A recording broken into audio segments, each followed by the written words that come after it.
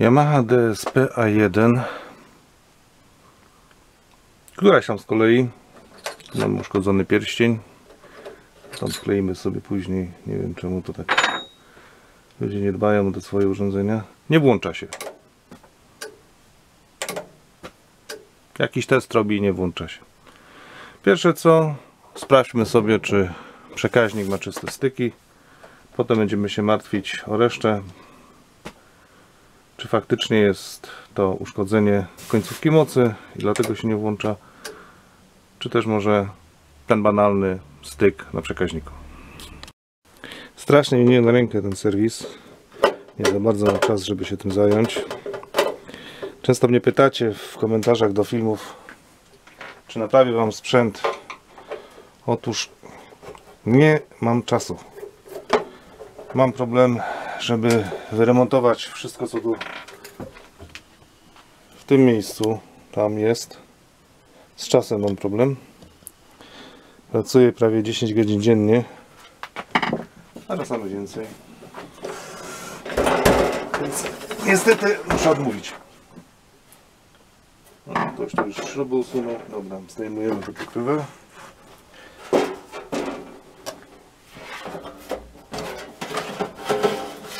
Czyli ktoś tu już grzebał w środku. Połóżmy sobie to, żeby nam nie przeszkadzało. Teraz tak. Tam jest taki przekaźnik zakurzony. Widać go. Tu. Trzeba się nim zająć.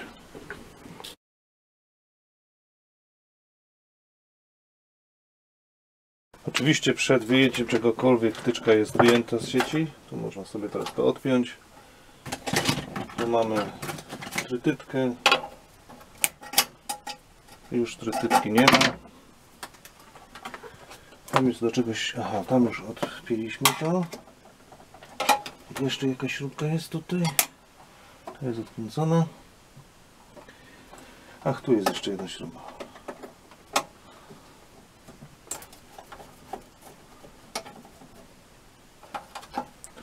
Peceta się przyda. I powinno ładnie wyjść.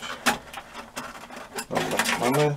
Teraz sobie odlutuję ten przekaźnik i sprawdzę co mu dolega. Lutownica w dłoń. Nie mogę się przyzwyczaić do nowych okularów. Mają takie dwa pola widzenia. Wcześniejsze tego nie miały. Czyli na blisko mogę patrzeć w okularach. Wcześniej zdejmowałem je. No i niestety nie mogę się przyzwyczaić do tego. Więc nie widzę, czy dobrze robię, czy nie robię. Że...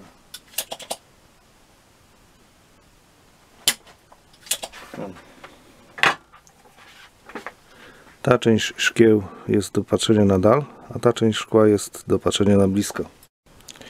Cewka jest na 12 V, więc podłączę sobie 12 V i tutaj ten śmieszny chiński miernik. Cewka na pewno jest zwarta. Zobaczmy co nam powie. 0000. Problem jest gdzieś tu. I teraz trzeba wytężyć głowę, żeby wiedzieć co się stało.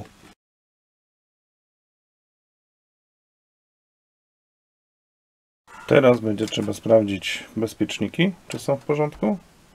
Ewentualnie, czy się pojawia jakaś sta składa, składowa stała na wyjściu. No tu widzę jakiś zalany soczek, czy coś w tym stylu. Może rzeczywiście coś tu się bardziej uszkodziło, niż tylko coś nie styka.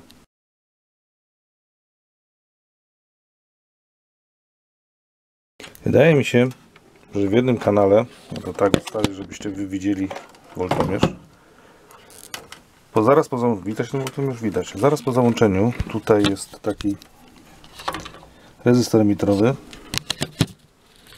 Pojawia się stała składowa. Czyli mamy uszkodzony jeden kanał. Nie krytykujcie mnie za ten miernik, ale to jest jedyny, który ma, posiada piszczyk. Jest do sprawdzenia zwarcia jak najbardziej się nadaje, tak?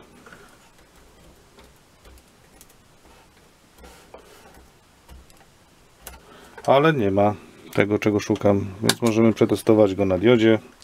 Każdy z tranzystorów.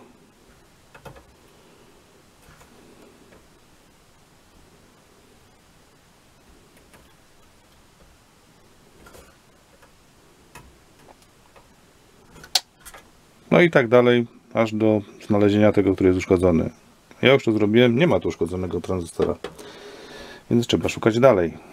Najlepiej byłoby sobie znaleźć schemat tego urządzenia, gdzieś tu mam w tych szpargałach i zobaczyć co tam po drodze się dzieje. To co mi się pojawiało na wyjściu jako składowa stała, to po prostu stan nieustalony. Przebadałem sobie tamtą stronę i wszystko jest ok. Masa, piszczyk, tak jak mówiłem.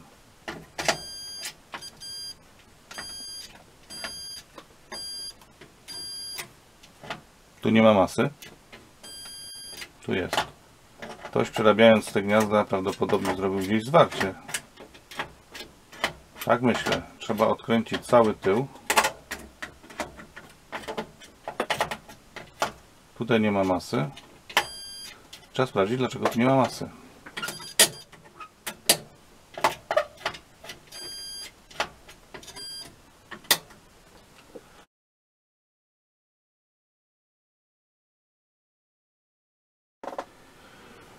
Wyciągnąłem. Teraz tak, to było tu. Przejście jest. Tu idzie sobie do przełącznika. Ale tylko na tą nóżkę. Tutaj nie ma przejścia, nie ma przejścia. Jak docisnę, to jest przejście, a normalnie nie ma przejścia. No sam nie wygląda na jakiś mocno zanieczyszczony. Może te blaszki po prostu nie dotykają. No, trzeba, trzeba się tym, z tym zaznajomić, zobaczyć, co się stało. Oprócz tego, że tu jest dużo smarowidła, oryginalnego smarowidła, to nie widzę zabrudzenia ani na blaszkach. Widzę, że to od nowości nierozbierane było. Trzeba to umyć. Środek, aceton. Zmywam to paskudztwo.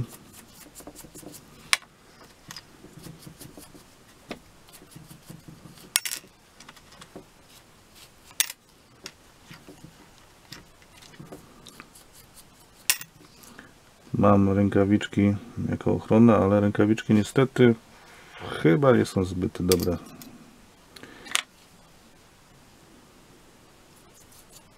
Dobra, musi to sobie wyschnąć. Nadal oczywiście uważam, że to nie jest przyczyna tego wyłączania się, badając krok po kroku i szukając różnych przyczyn, po prostu na takie niespodzianki się natknąłem. No, w związku z czym usuwam usterki, tak? Naprawa wzmacniaczy to jest niezwykle niewdzięczne zajęcie, bo naprawi się jedną usterkę, pojawi się za chwilę druga, zwłaszcza w takich 20-letnich urządzeniach. Teraz trzeba się zastanowić, jak to było złożone. Tu delikatnie bez kwasowej wazeliny damy. Teraz jak to było złożone, tak? Trzeba się zastanowić. Gdzie jest penseta? Tu. Prawdopodobnie te blaszki są jako kołyska. O, tu widzę na tym przesuwniku jeszcze jakieś zabrudzenie. Dobra. To jest jako kołyska. Jedno i drugie. No, ładnie siedzi. Teraz ta blaszka śliska się po tym, więc musimy to położyć na kołysce. No i tu już jest zabawy strasznie, bo to są małe rzeczy. Człowiek musi mieć dużo cierpliwości na takie przygody jak teraz. Ale ten się ustawił dobrze. Załóżmy, że to tu powinno wpaść do środka. Jest. A ten jest taki bardziej nieposłuszny, nie?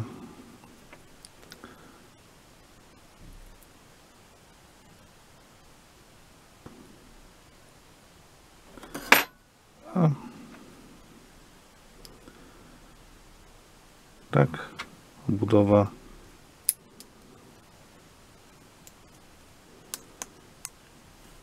jakiejś szczypce, żeby to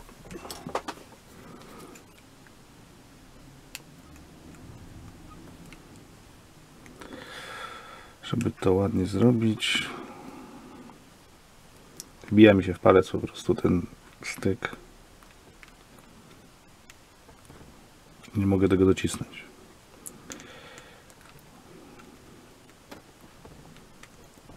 O przegiąłem trochę. Ładnie dociśnięte. Tutaj też pracuje. Teraz trzeba będzie piszczeć. Musi.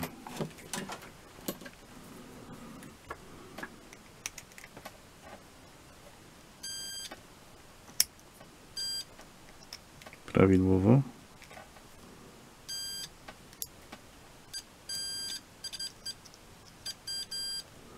Ok, no to jakąś tam usterkę pośrednio mamy już załatwioną. Gniazda na pewno nie są oryginalne, tutaj widać, że są dorabiane. Dobra, żeśmy tam naprawili to, zaraz sprawdzę, czy jest przejście. Jest przejście, więc jest ok. Jak to mawiają, syndrom jeszcze jednej planszy, nie? W odniesieniu do gracza to oczywiście tutaj mamy zimny lód, tu mamy zimny lód i tu, i tu, na tym mostku. Może zasilacz, że tak wygląda, nie dostawał odpowiednich napięć. I dlatego się to tak wyłączało. Napisałem SMS do właściciela z zapytaniem, co mu się stało, że przestał się włączać. O, jakie to usmażone. No napisał nic. Stał na półce podłączony do listwy i przestał się włączać. No tu trochę zimnego to będzie do poprawienia. Muszę ten radiator odkręcić.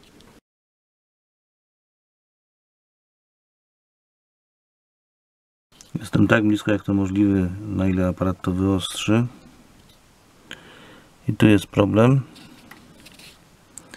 Podobnie tu jest problem. Tranzystory są sprawne, bo je sprawdzałem na teście diody. Dalej ostrz mi tutaj. No i zgubił zupełnie wątek. O. I co? I są sprawne, nie? Ale niestety tu jest strasznie dużo wygrzanych miejsc i zimnych lutów. Tu musiałem poprawić, miałem zwarcie. Umyte, wyczyszczone. Wygląda trochę lepiej. Mostek też przytwierdzony. Tutaj też był problem. No mogę jeszcze to poprawić. Ja, tak, no, poza tym, no tutaj strasznie dużo było takich miejsc, w których no, trzeba było już przy, przylutować coś nie coś. Najpierw odsysać cynę, potem włożyć nową, bo ta stara popęgana to nie ma co zostawiać. Niestety nie jest to ta usterka, no ale coś tam też zrobiłem, nie? Jest jakiś sukces, bo pojawia mi się coś na wyświetlaczu, a przedtem nie było. Podejrzewam nadal problem z jakimiś napięciami, które się nie pojawiają tam, gdzie powinny się pojawić. Teraz nie wiem, czy to już jest wina tego, czy może tam czegoś niżej. Bądź co bądź coś udało się popchnąć do przodu. Muszę schemat sobie przynieść, ale to nie dzisiaj, tak jak mówiłem. No, przegiąłem, bo już jest 10 godzina, no jutro na 6 do pracy trzeba stać. Tak jak powiedziałem, z napięciami jest coś nie tak. Jak sobie je mierzę, tutaj mam 15 V, tutaj mam 6 V, tutaj 4 no i tutaj też jest około 4 podobnież tutaj. 4V i tutaj jest 7V czyli coś nie tak mam z tymi napięciami. Może gdzieś tam coś jest obciążone. Dalej. Dalej czyli tu. Gdzieś tu.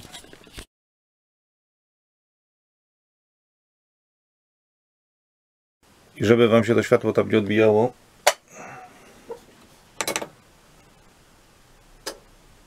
bo nic byście nie zobaczyli było P co tam było? Już nie pamiętam. PS, PRT 0%. PS, PRT 0%. Tutaj mamy jakie są napięcia. Na tej złączce widzieliśmy je. Tutaj jeszcze są uzwojenia do wzmacniacza, zasilanie wzmacniacza 81 V, 80, nie, B1, B2, no z daleka nie widzę zbyt dobrze. Zobaczcie jak to jest napisane. Yy, Wyświetlacz działa plus minus 15, no mamy niesymetrię i mamy 3 V, 4 V na tych 5 V zasilaniach, czyli mamy gdzieś nadmiar prądu brany. Ale gdzie? No to będzie trzeba wykryć.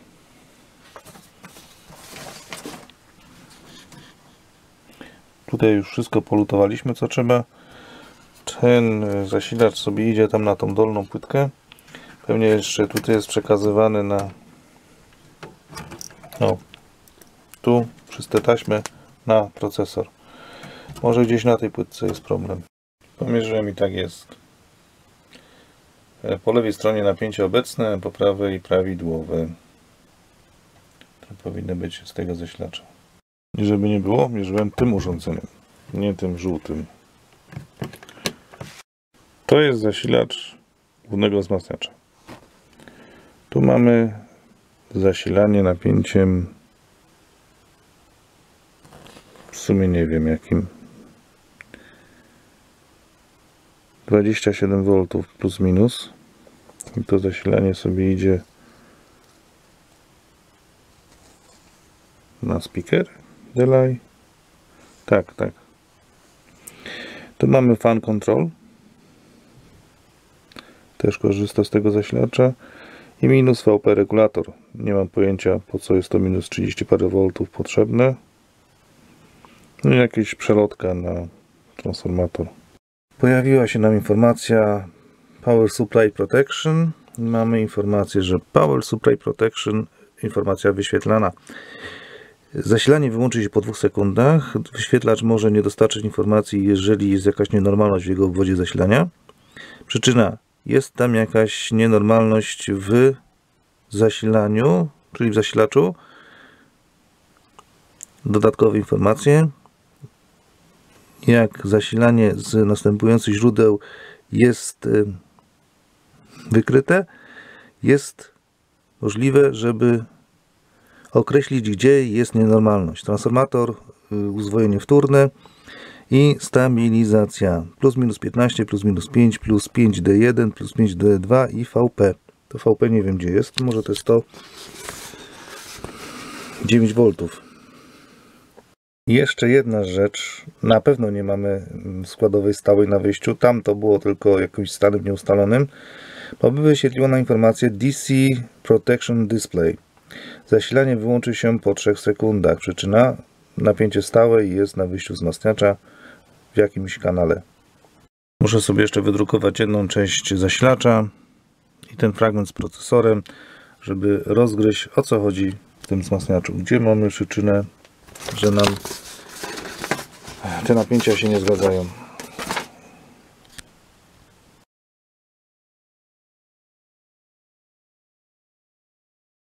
Żeby sprawdzić, czy to zasilacz jest wadliwy, czy gdzieś tu, odepnę sobie te dwie listy z zasilaniem i posprawdzę sobie napięcie.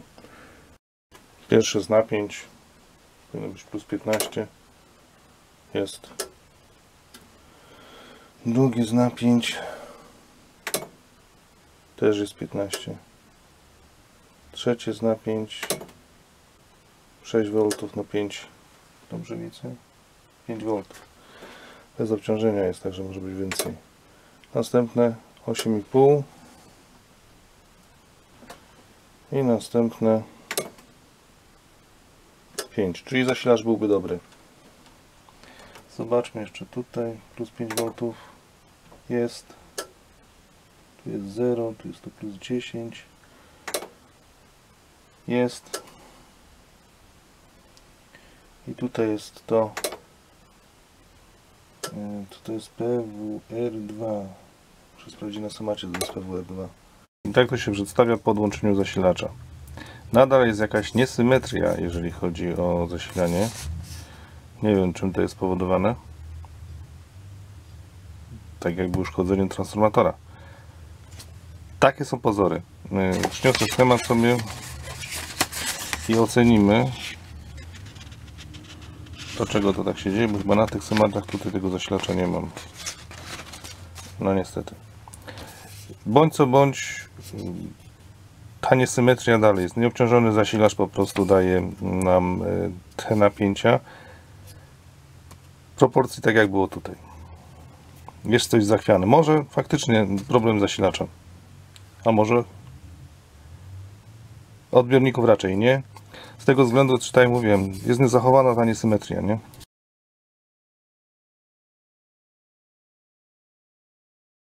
Podłączyłem się pod zasilacz, czyli pod wejście zasilacza, czyli zwojenie transformatora. I teraz naszym zadaniem będzie zaobserwować, czy mamy symetryczne napięcia przemienne. Więc załączam. 8,20 jest idealnie. Czyli problem mamy z zasilaczem gdzieś. Jeszcze do rozszyfrowania, dlaczego nam te napięcia nie są symetryczne gdzieś tutaj. Trzeba schemat, przeanalizować to, rozgryźć. Może nie będzie trzeba wyjmować tego. Tutaj mamy schemat tego zasilacza, ale zanim jeszcze się zasilaczem nie zajmę, sprawdzę sobie napięcie, które idzie na wzmacniacz, na końcówkę mocy, czy mamy symetryczne. W tym miejscu w zasilaczu podłączyłem sobie swoje mierniki. Nie wiem, czy coś tam widać. Widać. Dobrze. Załączamy równiutko. Z transformatorem mamy wszystko w porządku. Sprawdzę sobie jeszcze napięcia, które mi idą na końcówkę, czy też są symetryczne. Wpiąłem się na kondensatory główne. Jest równiutko. Czyli problem nasz na razie będziemy szukać tutaj, na tej płytce zasilacza. Informację, którą dostaliśmy od e, amplitunera. Nie, to nie jest amplituner, to jest e, amplifier. amplifier. E, to, że stąd wychodzą złe napięcia. Jeszcze raz muszę to odkręcić i sprawdzić sobie tą płytkę. Mm. Zasilanie off, aparat off i odkręcam. Sprawdzam sobie rezystory, które są rezystorami mocy. No unknown the masz part. Jeszcze raz.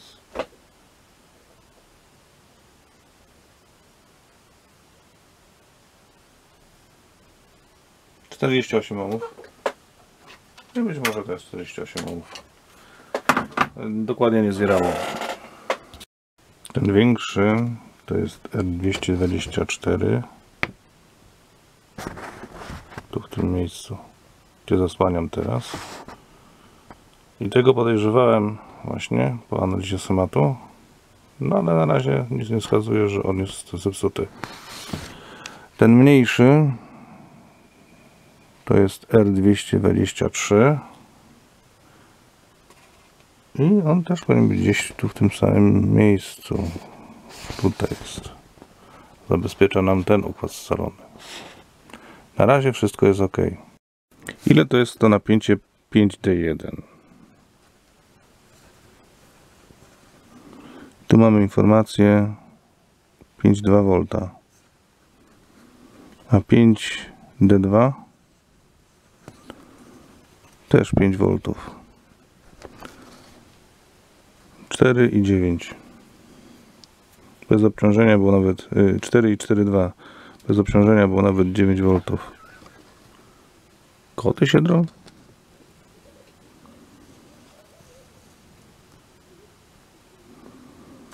No dalej mam zagadki nad tym zasilaczem tutaj mamy zasilacz plus minus 15 V 14,5 14,7 powinno być. Mamy małą niesymetrię. Absolutnie nie podejrzewam kondensatorów elektrolitycznych, chociaż wydają się lekkie. No widać, są dobre. Są też solidnie przyklejone do płytki, jak widać. Jak już odwylotowałem dwa, no to wyczyszczę to coś. No to tam te dwa pozostałe kondensatory. Jeden z nich, drugi taki sam. Gdzie jest R214, to ten rezystor Umyłem go, przy okazji też wyczyściłem, bo on był cały zalepiony tym klejem. No, bardziej czysto jest. Z tego zasilacza jeszcze wychodzi kilka wtyczek. Jedna z nich jest tu. Tak. Następnie ta jest tu. I ta jest tu. Możemy uruchomić jeszcze raz i sprawdzić napięcia. Niestety bez zmian. Na razie nie wiem co jest nie tak. Muszę sprawdzić sobie gdzie się ta detekcja napięć y, do procesora kieruje. Może tam coś znajdę. Na razie bezskutecznie. Jak się włączy, za chwilę się wyłączy ten skill. Czyli y, załączenie pokazuje nam dalej y, zasilacz. W zasilaczu jeszcze jest coś takiego jak to miejsce minus 27 i plus 27 plus B2 i minus B2 i ground. I to jest prawdopodobnie tutaj. Was jest to widoczne. I teraz tak, tu sobie podłączę. Wybaczcie tak warowe naleciałości, ale pracuję na wsi i ostatnio mój język nieco zrobił się taki specyficzny. 31 V. 31 V, czyli dobrze. Następne napięcie sprawdzone. Napięcia na wzmacniacz też są sprawdzone. Tu mamy fan regulator, to tam jest mało istotne. I mamy jeszcze jakieś napięcie minus 31 V na VP. Gdzie ja tę wtyczkę tu znajdę? Musiałbym bok odkręcić, żeby się do tego dostać. Ten. Ten bok musimy odkręcić, żeby się do tego dostać. Żeby przypadkiem jakiegoś zwarcia nie zrobić, ja będę tu coś manipulował. Bo raczej nie widzę. Chyba, że tu do góry jest ta wtyczka. Tak, to może być tu do góry. Ale to by się nam nie uruchamiał blok wyświetlacza. Bo to jest regulacja właśnie tego napięcia na wyświetlacz. Także na razie jeszcze nie wiem co się stało. Jestem, no podejrzewam ten plus minus 15 V i 5 V zasilanie, że jest niezgodne, ale dlaczego nie mam pojęcia. Tu w tym miejscu mogę się podpiąć i sprawdzić i sprawdziłem sobie napięcie jest obecne.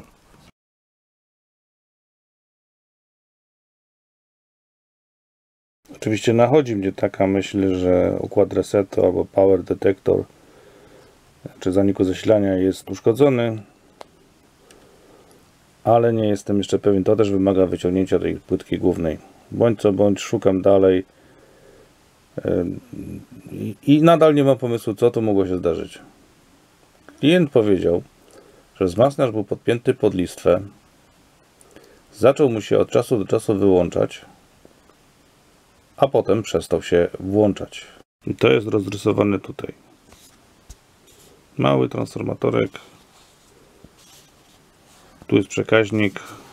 To nie wiem po co tutaj jest. Na płytce wideo się mogło być na tej samej płytce co tutaj. Nie mam pojęcia.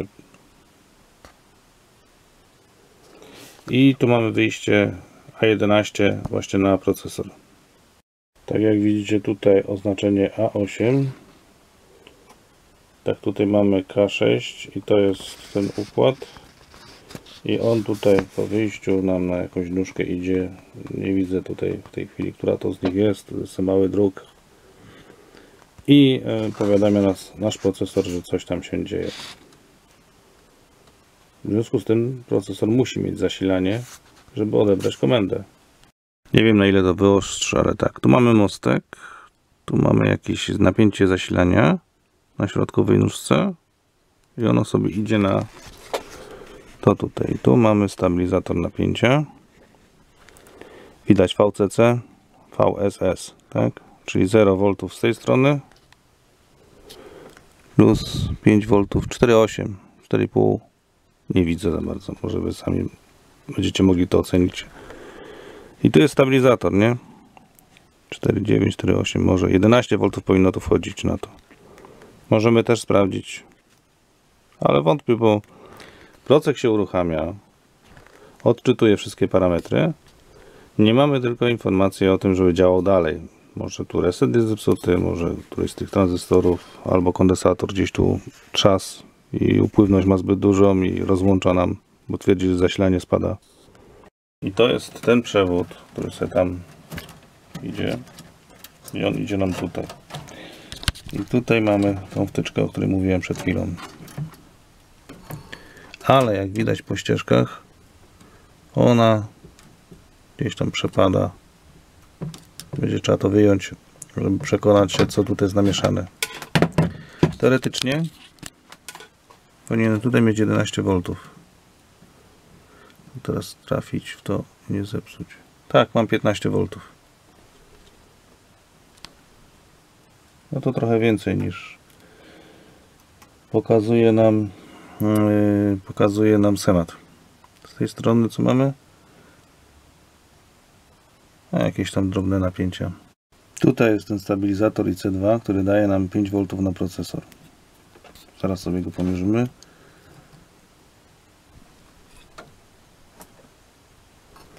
Także napięcie to jest wejściowe, to jest wyjściowe, a to prawdopodobnie masa. Tak, zgadza się. Czyli zasilanie prawidłowe jest. To 5V z tego układu. Ten dodatkowy układ tutaj na tym wideo 8 raczej jest nieobecny, bo nie mamy żadnej dodatkowej złączki tutaj. Nie widać, żeby coś więcej wychodziło, tylko zasilanie na ten transformator. No rad nie rad będę musiał to wyciągnąć, obejrzeć, może tam są jakieś zimne luty. Bądź co bądź, no zasilacz raczej działa mi dobrze. Raczej. Chociaż melduje mi złe napięcie. Procesor. Może coś tam nie dochodzi do niego.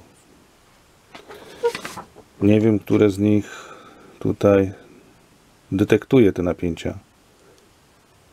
Daje mu informację o tym. No to jest pełno zagwozdek. Mm, Co najmniej nie na dzisiaj. Dzisiaj już mam dosyć. Ajku. No, pół do siódmej. Prawdopodobnie znalazłem ten sygnał, który informuje procesor o właściwym zasilaniu. Ale zanim Wam nie pokażę, który to sygnał, no muszę yy, pokazać Wam schemat jego drogę, więc będę przerywał co chwilę film, czyli ten klip, yy, bo będę przerzucał się między tymi kartkami. Szanowni Państwo, tutaj jest taki sobie pin, który połączony jest z wirtualną masą za pomocą dwóch rezystorów. Tu zaraz za tym mostkiem są dwa rezystory.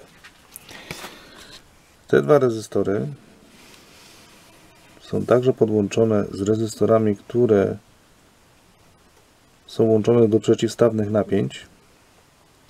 Tu plus minus 5 V i także tutaj plus minus 5 V. I to w sumie powinno dawać zawsze 0 V. To sobie idzie na Tone Connection.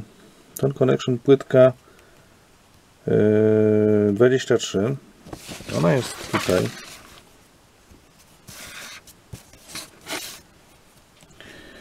Tone Connection, wejście to. I ten sygnał przerzucany jest po prostu na kolejną płytkę. Płytkę fun- function, function, funkcję. I to jest to połączenie. I teraz to połączenie jest teraz, żebym was wam trafił w to, bo to jest strasznie skomplikowany schemacik malutki. To jest tutaj to. To sobie idzie na ton control 4. Czyli z tego sobie przychodzi tutaj. Dobrze widzę tak. Tu idzie sobie to na nóżkę 30. 30 we wzmacniaczu i to jest właśnie ten y, informacja o prawidłowym napięciu zasilania. Wpinam się w odpowiednią nóżkę. Która w tej chwili ma, jak widzicie, minus pół volta. Podłączam zasilanie. Mamy 1 V. Dlatego nam się rozłącza. Powinno być 0. Tutaj jest informacja, że to jest pół volta w plusie. Na 30 tej nóżce. A co gdyby jeden z tych rezystorów się spalił i na przykład napięcie by wzrosło? Mamy tu zenerkę, czyli zabezpieczenie nóżki układu scalonego. Widzicie, ta zenerka sobie idzie tu. I to nam pilnuje, żeby nam nie przekroczyło tego napięcia, które powinniśmy mieć. Jeszcze jedno ze schematów można odkryć. Ten przewód tutaj, który idzie tutaj, bo to jest łączenie tych mas. Czyli masa analogowa i masa cyfrowa. Masa analogowa sobie idzie tutaj, tu mamy masę cyfrową, czy tam wideo i ona sobie idzie tu na zacisk, który tam jest z tyłu, tak? Czyli ta wtyczka jest konieczna, żeby nam zasilacze nie pływały.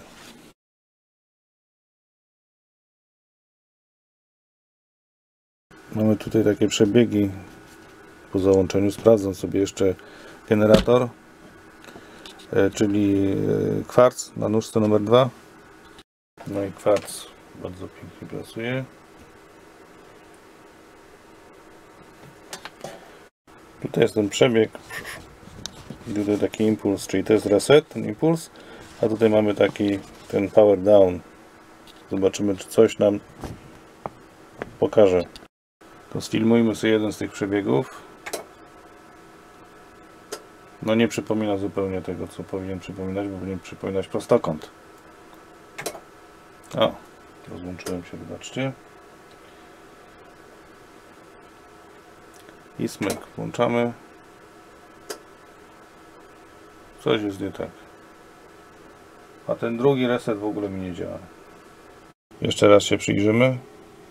Niestety nie ma tego kształtu, co powinien być. To jest ta nóżka tutaj. A to jest impuls na resecie, czyli tu, tu w ogóle nie ma impulsu resetującego. To jest kanał pierwszy, a to jest kanał drugi. Nie? Ja sobie to pojedynczym pomiarem robiłem. Nie? Czyli tutaj e, nam tak się nie zachowuje, jak powinien się zachowywać, tylko się narasta i potem się rozłącza. Może tutaj coś z pojemnościami jest nie tak. Zobaczymy. Ale nie dzisiaj. Jeśli się okaże, że moje założenie tutaj jest błędne, to dojdziemy do momentu, w którym naprawa i poszukiwanie usterki w tym wzmacniaczu staje się nieopłacalne z punktu widzenia klienta, jakże i mojego. Biorąc pod rozwagę przedział stawki godzinowej średniej u mnie w zakładzie pracy, czyli w gospodarstwie rolnym 35 zł za godzinę, to yy, licząc nie wiem, 12 godzin już chyba, no to mamy 400 za poszukiwanie usterki, która no nie wiem gdzie jest. Sprawdziłem zasilacz, zasilacz w granicach normy. Myślałem, że ten układ po prostu tutaj, co y, daje to napięcie, co, co wcześniej wyjaśniałem, y, musi mieć 0. Potem się okazało, że tu przeczytaliśmy, że pół volta, a trochę więcej jak pół volta. Szukam dalej. Pewnie będę musiał pomierzyć też tutaj tę, tę diodę, która tam ogranicza ten, ten napięcie. Bo może właśnie y, gdzieś ta różnica, ten, ten, te napięcia są za wysokie albo coś. I to nie wynika z pracy tego tutaj, tylko na przykład z warunków zasilania, które tutaj mamy. Y, bo z Massnet jest na 230 V i nie ma przełącznika e, napięcia. Także no, znajdziemy jedną usterkę, jeden rezystor, na przykład. Załóżmy, że gdzieś tutaj rezystor stracił swoją wartość, zmieniło się napięcie. E, I co? Za jeden rezystor 350 zł, tak? Także z mojego punktu widzenia ta naprawa już jest nieopłacalna. Mam wyjęte to całe ustrojstwo. No tu widać ślady sondy mojej oscyloskopowej. Nie widzę zimnych lutów. Tutaj mamy ten stabilizator. Mm, lekko kopcone kondensatory.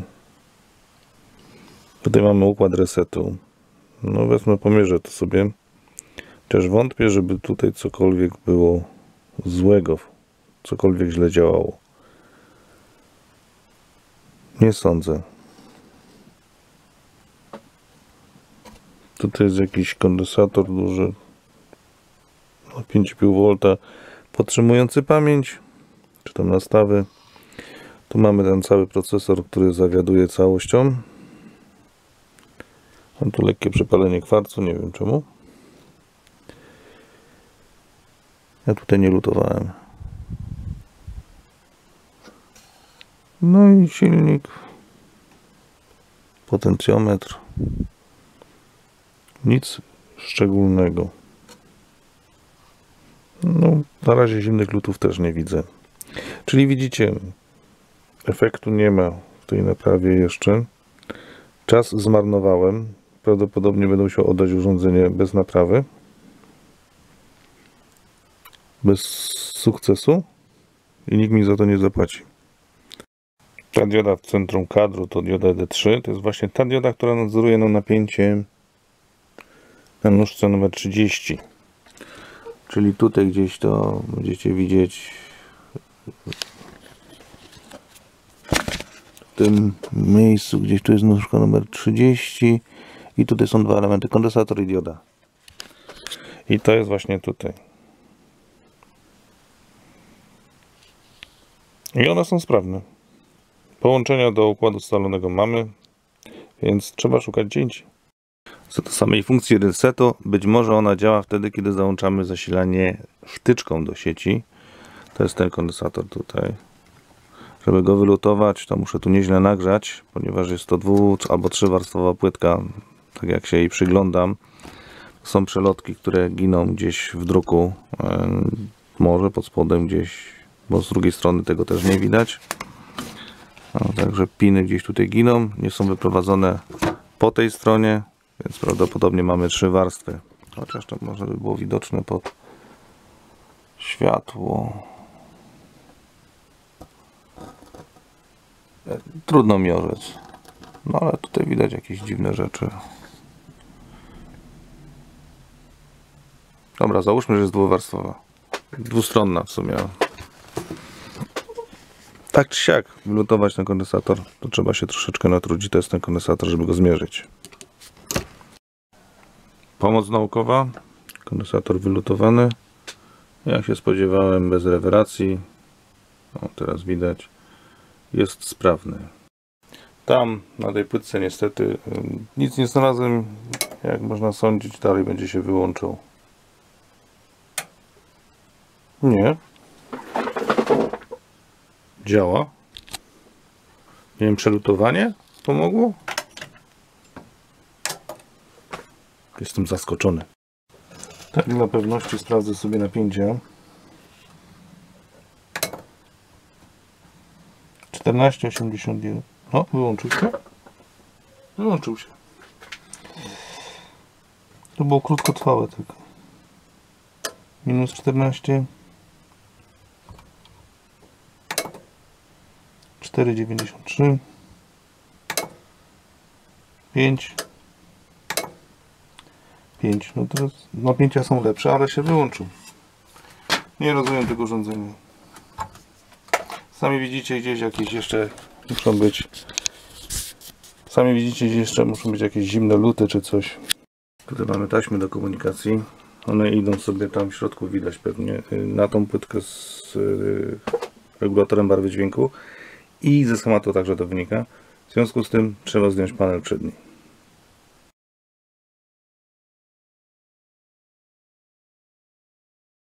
Ktoś mógłby teraz powiedzieć, że naciągam swojego kontrahenta, klienta na kasę, no bo tyle szukania, okazuje się, że co? Że zimne luty gdzieś tam się pojawiły. Zrobiłem procedurę sprawdzenia wzmacniacza. Wzmacniacz mi powiedział złe napięcia. No to te złe napięcia zacząłem sprawdzać. E, Żeby się przekonać, czy zasilacz ma niewłaściwe napięcia. Okazało się, że pewne rozbieżności były. Nie wiedziałem, czy ten zasilacz ma tę kontrolę napięć y, taką dokładną, że nie wiem, jedna dziesiąta napięcia już mu tam głupoty wchodzą. Czy też może ma pewną tolerancję, powiedzmy pół volta. I sprawdziliśmy tę procedurę. Okazało się, że praktycznie rzecz biorąc mogłoby to działać, ale nie do końca działało. No to mówię, sprawdzę sobie jeszcze ten układ resetowania i e, tego napięcia. No nie działa to tak jak jest na schemacie tam na rysunku. A to dlatego, że prawdopodobnie gdzieś tutaj w tej chwili na tych taśmach, na tych łączach przejściu między jedną płytką a drugą i do trzeciej, bo tak konstrukcyjnie to jest zrobione. Gdzieś na tych taśmach jest zimny lód i ten system hmm, powiadamiania procesora, że napięcia są prawidłowe, nie działa do końca prawidłowo. No i teraz muszę rozkręcić ten przodek, żeby to sprawdzić. 10 godzin. No ktoś powie bardzo dużo, no ale tutaj jest bardzo dużo rozkręcania. Tutaj każdy z tych modułów jest na jakichś śrubkach, żeby to zdjąć to 50 śrubek, tamto zdjąć 50 śrubek. Przedzwonić wszystko to też zajmuje czas. Dlatego takie usterki są najgorszymi usterkami, jakie są do poszukiwania, ponieważ nie widać ich gołym okiem, a trzeba przejrzeć prawie wszystko. A tutaj jest raz, jedna płytka, druga płytka, trzecia, czwarta, piąta, szósta, siódma, ósma, dziewiąta, dziesiąta, jedenasta, dwanaście albo 13 płytek drukowanych. Ta rozbiórka niewiele wniosła, ale jeszcze odkręcę sobie ten przodek, żeby przekonać się, czy tutaj no coś tam nie jest nie tak. Muszę przedzwonić, czy te taśmy, bo jest w fatalnym stanie. Te obejmy tutaj po prostu pozagniatały ją. Może gdzieś jest pęknięta i dlatego zachowuje się ten smaster jak się zachowuje. Dobra, co do dzieła. Powiadomię Was o rezultatach. Tutaj jest taśma przełamana. Może złamana. Ona była tak zrobiona. Kto wie, czy to nie jest właśnie ten powód, czy ten, ta przyczyna, której szukamy. No muszę to przedzwonić.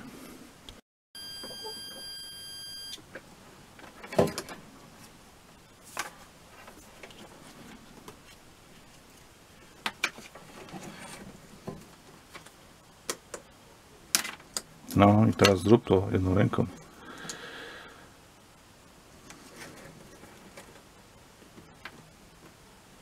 Nie, nie działa. Taśma jest przerwana. Albo dobra, zróbmy sobie tak, że przyczepimy sobie to czymś do stołu i zaraz wracam. Jedziemy. Pierwsza jest, druga jest. Teraz zagiąłem, żeby sprawdzić. Jednak przewodzi.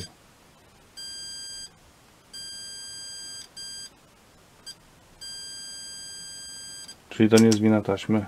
Chociaż jest dla mnie bardzo podejrzana. Tak to ujmę. Nasi tu byli.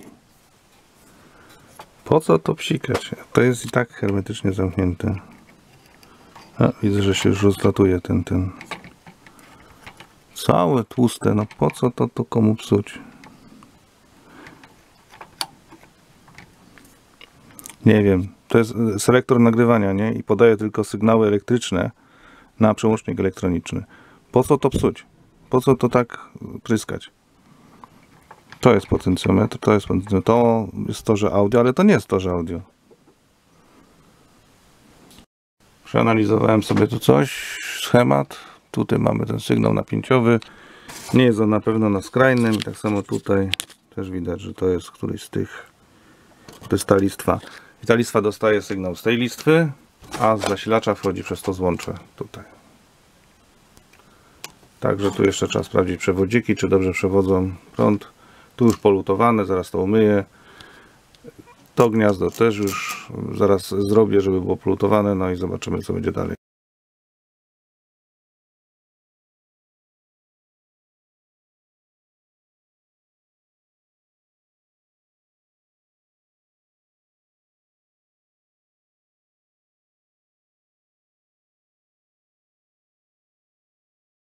I pomimo tego znalazłem zimne luty. Tutaj jest pęknięte.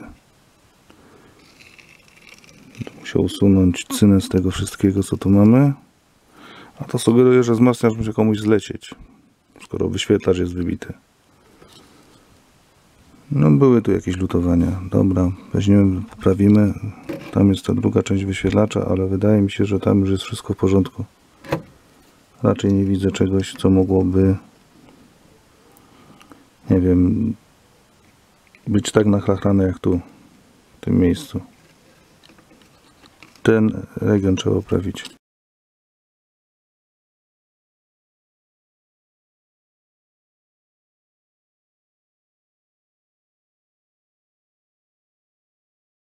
Jakieś próby naprawy tutaj były. O, widzicie, odcisk palca, niewyczyszczone. Środek do mycia, niemodny t-shirt i to sobie. Potem odrobinę świeżej wody, suszarka i będzie jak nowe. No, tę powierzchnię możemy już uznać za wyczyszczoną. Ładna. Dobra, teraz muszę się zastanowić, gdzie mi przepadła taka zatyczka. I idę robić obiad. O, jest. Widać. Tam, pod radiatorem. Całe szczęście tutaj tego nie ma. Żadnych odcisków. To nie można powiedzieć o panelu frontowym, no ale wiadomo, panel frontowy można łatwo przeczyścić. Natomiast tego trudno. Dobrze, że to zdjąłem, bo przynajmniej ten wyświetlacz, nie wiem co to tam było za znaki, ale będzie pracował prawidłowo. No cóż, trzeba to wszystko poskładać. Zrobię to w połowie. Dzisiaj już go nie skończę. Tutaj jeszcze to muszę przelutować i wyczyścić. Tu raczej nic nie widzę. To jest tylko ten fragment płytki, który nam odpowiada za, ten, e, za to napięcie. Przekazywany na procek. To też jest już tutaj zrobione. Taśma przewodzi. Wydawało mi się, że nie, ale przewodzi, więc jest chyba wszystko ogarnięte. Może się uruchomi, jak nie, no to już wtedy nie wiem. Nie chce mi się szukać jakiejś, jakiegoś drobnego uszkodzenia, które tak naprawdę można szukać jak igły stogu siana.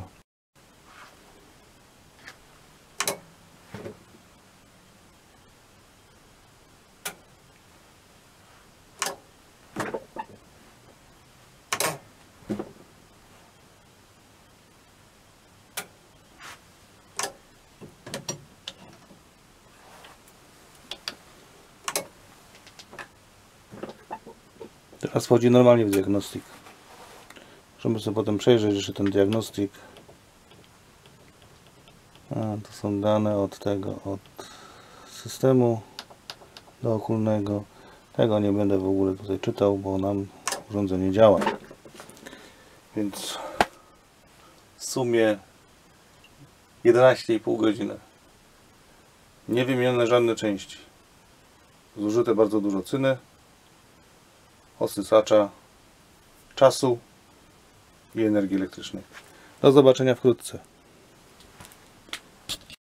Jeszcze sprawdźmy, czy gra.